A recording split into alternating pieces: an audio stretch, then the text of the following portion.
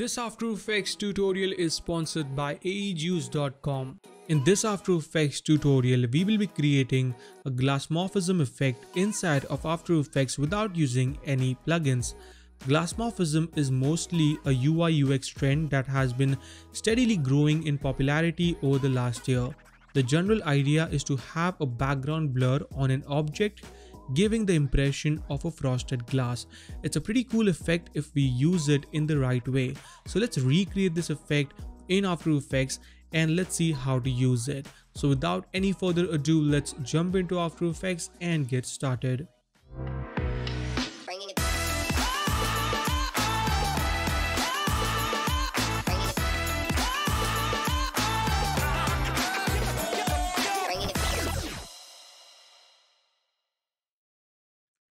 Alright, so here we are in After Effects. Let's start by creating a new composition. Let's go with 1920 by 1080.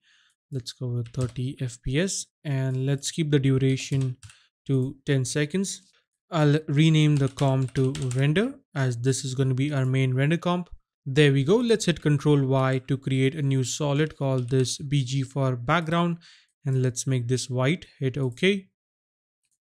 Now the first thing that I'm going to do is start building up our background shapes. So to do that, I'm going to select the rectangle tool. We don't need any stroke, we just need the fill and let's create a perfect square using or holding shift and just dragging just like that. Also, I want to place the anchor point into the center. So to do that, I'm going to hold control and double click on the pan behind tool. Okay, so there you go. There we have the anchor point is now in the center. Let's select the layer, hit U two times to reveal all the properties. Let's go into rectangle path one and let's add a little bit of roundness, maybe something like 35. All right. Also, I will change the size to around 650 and hit R and rotate this a little bit just like that. And I'm going to place this one like so. I think I'm going to increase the size a bit more. So let's go with 700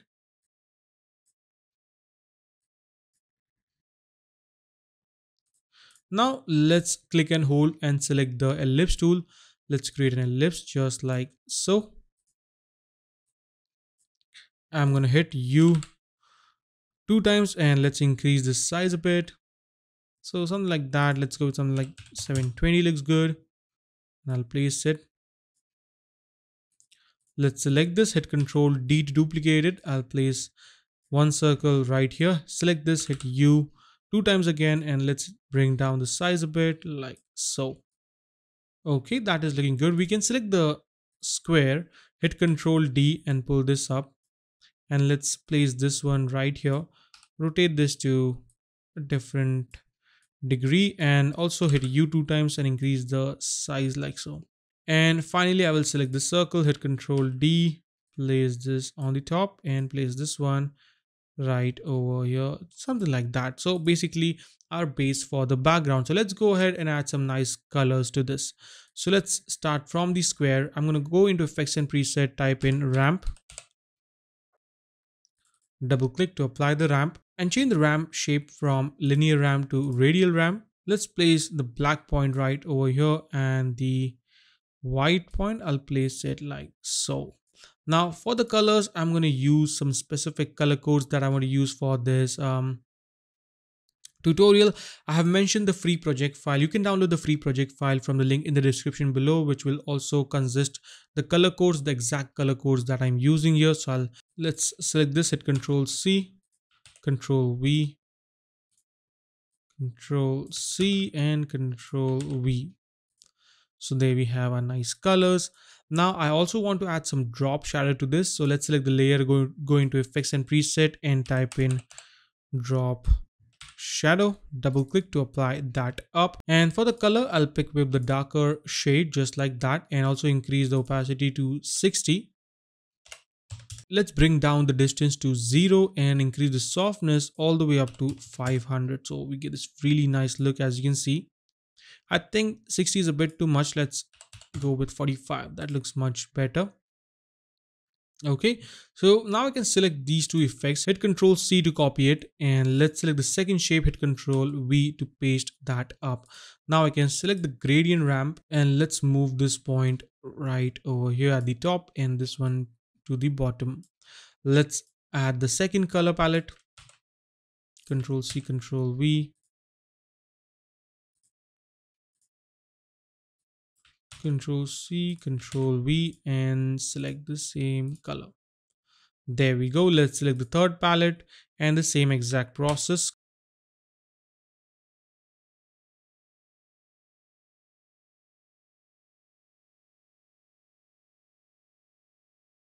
All right, so there we go. Our background shapes are good to go. Let's add a little bit of movement to this. So I'll select the shape, hit P, hold Alt and click on the stopwatch and let's add a simple wiggle expression, open and close parentheses. Let's go with 1 comma 30. Alright, so now we have a little bit of movement as you can see into our shape. So I can just copy this expression, hit Control C. Let's select all the shape layers, hit P to bring down the position. Let's click on the stopwatch by holding Alt and let's hit Control V and just copy paste it just like that. So now if I preview this, you can see we have a little bit of movement here, which looks pretty nice. So let's now go ahead and create our main uh, shape of this tutorial. That is a glass morphism effect that we are looking for. Now, before we proceed further with this tutorial, let me tell you about today's sponsor AE Juice. They have an amazing I Want It All bundle which contains over 5000 animated elements like transitions, presets, titles for your project. It comes with a handy pack manager plugin and this is one of those investments that will last you for a lifetime. Plus they also have a starter pack which has over 100 animations that you can try it out for free. For more information, check out the link in the description below.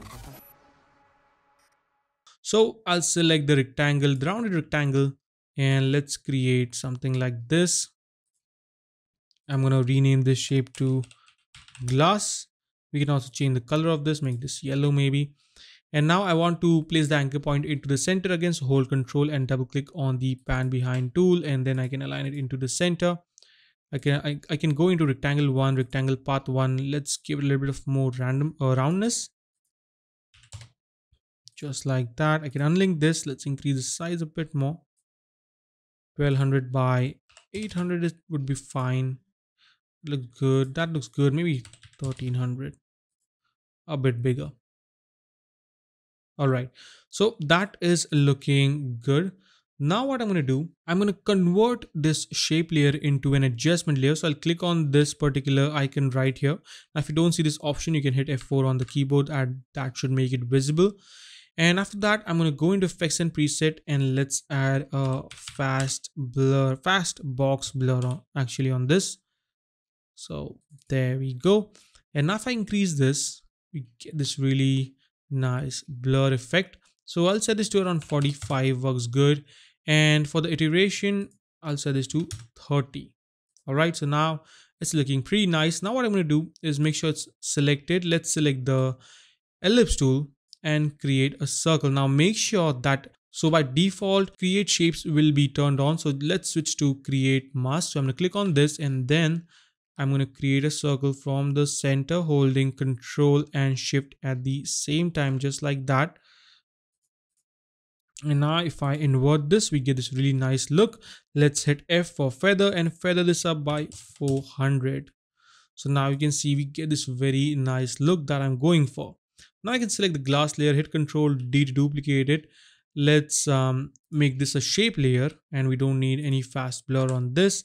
And what I'm going to do is change the color to white all right and then hit T and bring down the opacity really low like 5% or maybe something like 8% yep that looks much better. So it so it adds a nice highlight as you can see. And let's rename this to high for highlight. All right and finally i'm going to duplicate this again. So hit control d duplicate it. Let's call this stroke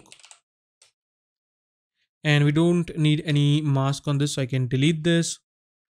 And what I need is a nice stroke. So I can hit control shift H so we can hide the control layers and see what's happening here. So you can see we add this really nice stroke. So I'm gonna set this around 15 I guess. Hit T and let's increase the opacity to around 15 also we don't need any fill so I'm gonna click on fill and set this to none now maybe 15 is a bit too much so let's go with something like 8 mm, yep that is looking much better. So now you can see the complete uh, design is looking very very nice. Also i'm going to rename this from stoke to stroke. So that looks pretty good. And basically this is how you create this nice um, glass feel to this. You can if you want you can just uh, turn off the mask and um, you know get this kind of look. But i think it adds a nice depth to the complete scene. So now i can go ahead and add any text that i want. So i can select the text tool and type in any text. So let's type in glass morphism. And for the font i'll go with a nexa that looks pretty good. All caps. Let's bring down the size like this and let's place it something like that. Now it's getting blend with our background so we can actually go ahead and add a nice drop shadow to this. So let's go double click and let's add a drop shadow. I'll set the opacity to 20 and um, let's move this to the bottom just like so. Let's set the distance to 25 and the softness to 45 so we get a very nice look as you can see. And you can go ahead and add in more detail if you want to. And basically you get the desired look so that is how you can create a nice glass morphism look in After Effects. You can actually create this in Photoshop as well and then bring it in After Effects and animate it. But why not create it in After Effects and animate it here itself as it will save you a hell lot of time. So that is a wrap guys. I hope you enjoyed this tutorial on the glass morphism effect. If you did, make sure you subscribe to the channel. Follow me on Instagram at dope.motions and I will see you in the next video. Till then, take care and always Stay raw, stay creative. Peace out.